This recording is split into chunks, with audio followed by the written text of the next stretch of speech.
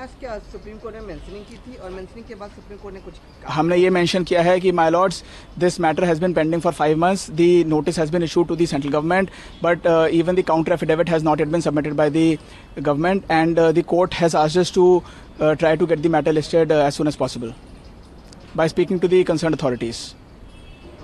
English में prayer in the petition हाँ जी हम my prayer is that right to equality of the short service commissioned officers of Army Navy Air Force should be ensured.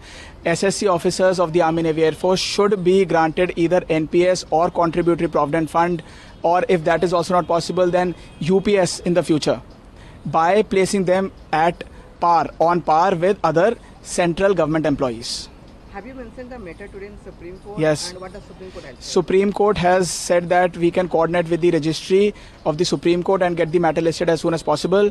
And uh, we have uh, we we have tried to highlight the fact that uh, the uh, counter affidavit has not been filed by the respondents despite five months of issuance of notice by the Honorable Supreme Court.